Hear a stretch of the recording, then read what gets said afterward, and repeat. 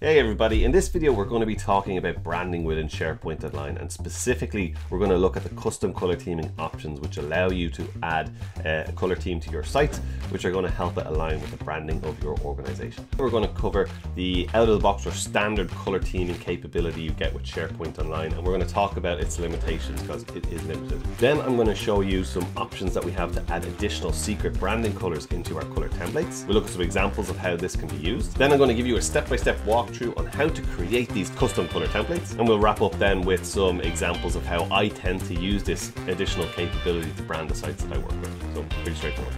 This video is sponsored, well, by me and the Academy 365 SharePoint Site Builder Masterclass. This is a course that I've put together which is for anybody who has inherited a SharePoint Online site or is building a department site within their intranet. Course focuses on the most common requirements that I see again and again and step by step how to build them. There's a big focus on user experience within this course, and I've designed it so you don't have to be a techie to take it, right? This is aimed at any business user who wants to up their game within SharePoint. If you're interested, there's a link below along with a tasty discount. Now back to the video. So what's the problem? What's the point of this video? Well, for those of you who haven't really explored this topic of custom color theming within SharePoint Online, let's give a quick rundown. So within any SharePoint Online site, we have a collection of settings called Change the Look. And basically within this area of settings within your site, you have the ability to influence the look and feel of your site across various elements.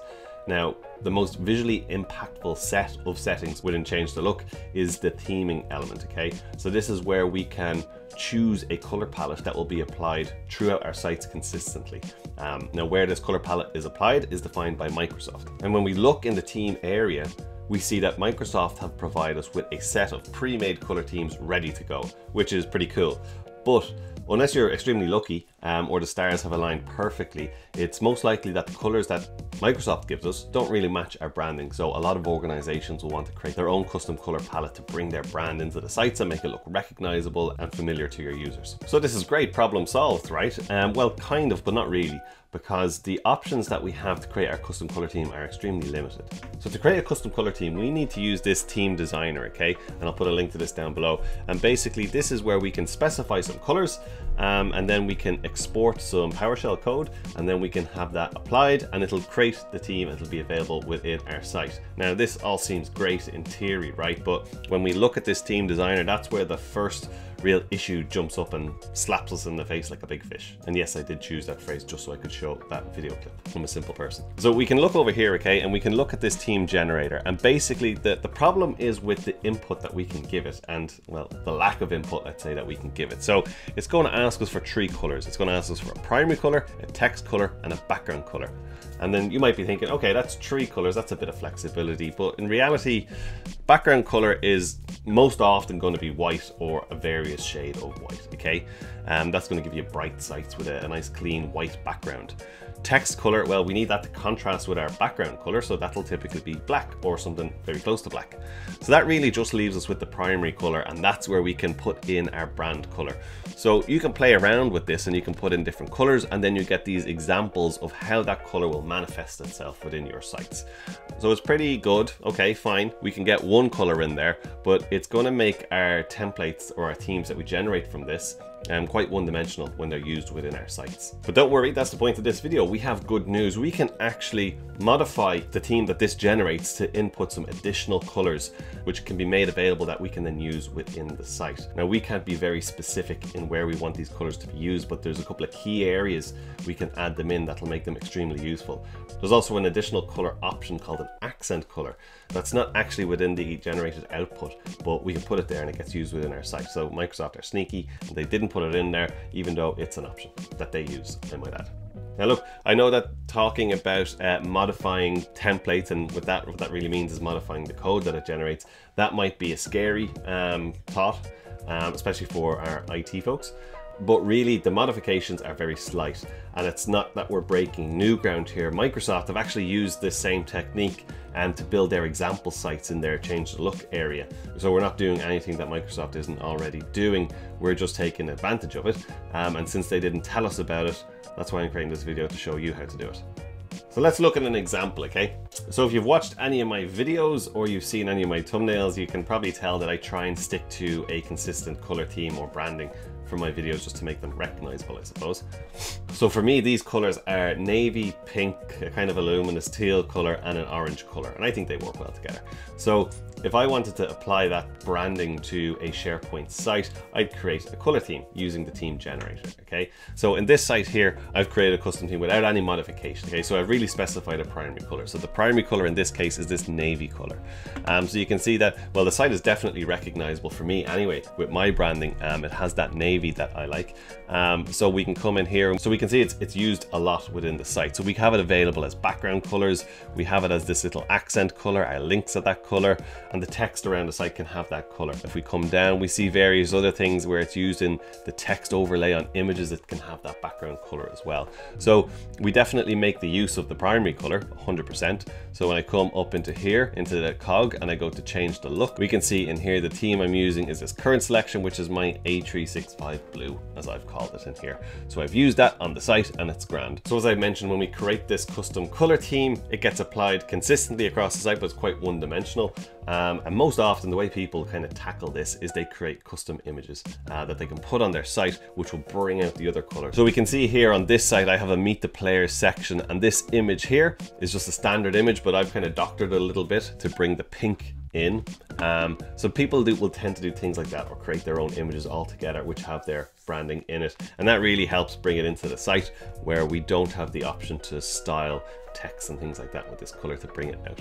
So typically that's how people are going to approach it. So how can we add more color? Okay, how can we modify these templates? Well, there's a couple of areas that we can do it and it's straightforward enough when you know what your options are. Let's look at another version of this site where I've implemented the changes I'm discussing in this video. So here we see the one that I've just gone through, which has the, the navy color throughout all over the place. And now we see an example of the same site effectively um, with the same content, but where we've created our custom color theme where we've introduced some additional color.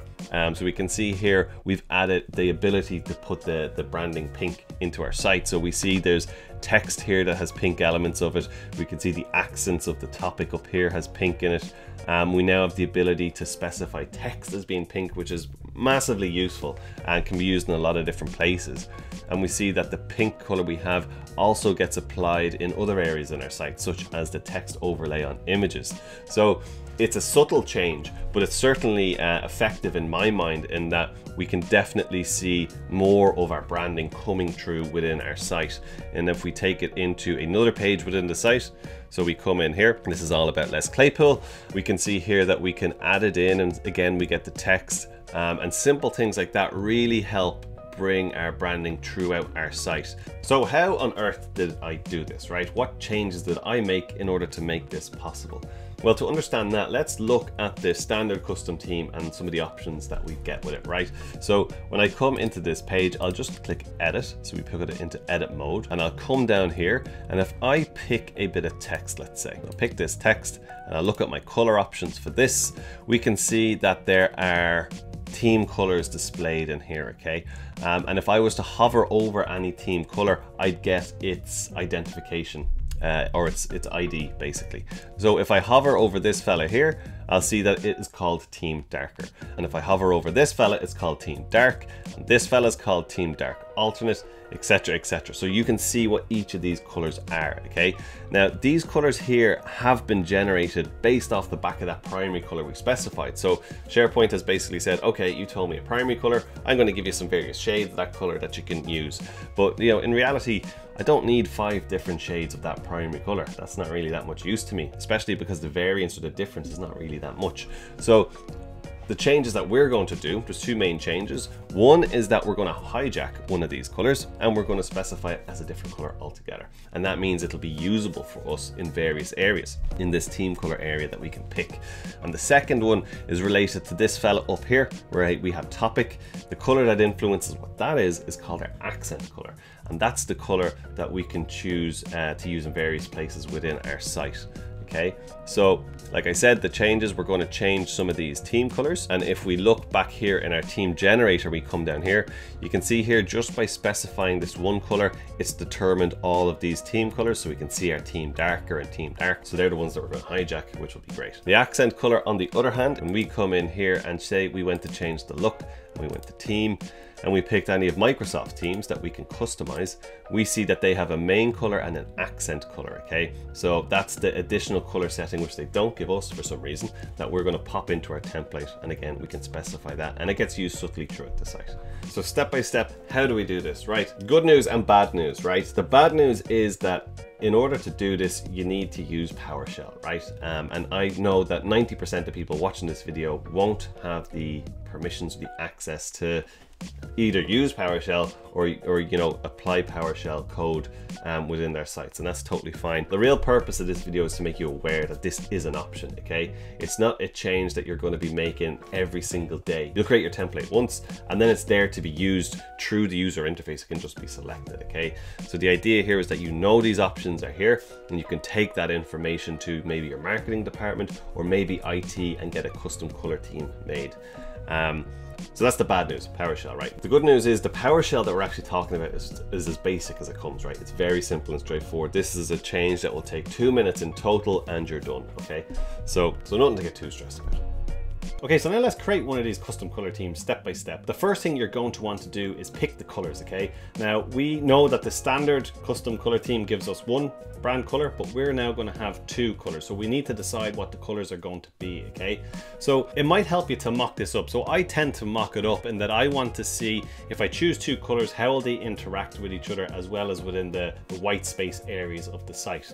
So we can see here that I've got a version mocked up where I can see my secondary and my additional brand color, which is pink, on top of my primary color, and it looks good color. The accessibility is good in terms that there's contrast, it's readable, and likewise on a white background, it works well also, okay? So that's good. And then we can look at a version where we're using the teal color, okay? And while it looks good on top of the primary color, it's not so good on top of the, the white background. So the contrast is not quite there. It would be hard for people to read if we were to use it in text. So for me, that means that I would pick pink rather than the teal color.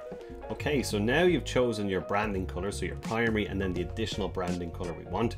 We need to head back over to the UI theme designer where we're going to create the theme, okay? So when you come in here, add in your primary color and it's going to generate this default custom theme for you, okay? So what you want to do then is go to export theme come over to the PowerShell tab and you're going to copy all of this text, okay? What you're going to want to do is paste it into a text editor because we want to make a couple of amendments to it. So when you paste it into your text editor, what we want to change are these elements in pink here. So for Theme Darker, you're going to pop in your additional branding color. So in my case, it's the pink FF0099. And then down in the accent color, I'm going to choose the same color again because I'm going to have pink and navy as the colors that I'm going to use. But you could make these different colors if you wanted to.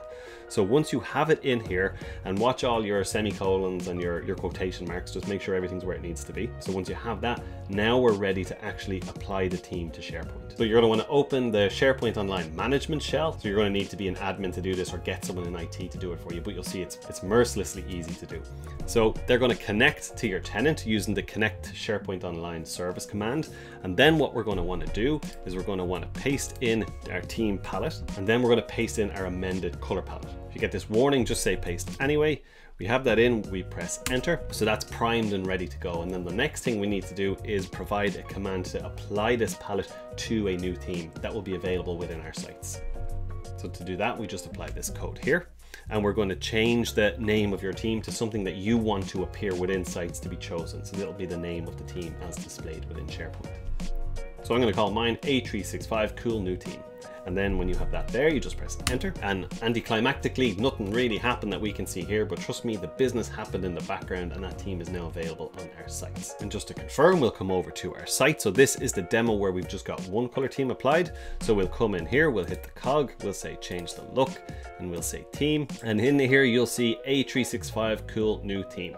So I can select that and we can see the accent color was applied and I can also see it here. I'll click save and don't mind the other themes you saw in there. This is actually the seventh time I've recorded this piece. I uh, kept messing up the syntax. So now we've applied that theme to our site. If I come into edit mode, I'll come in here and I can see that if I select a piece of text or a heading and I change the color, I now have this cool new pink color to use, which is going to be super useful in adding additional color to the site.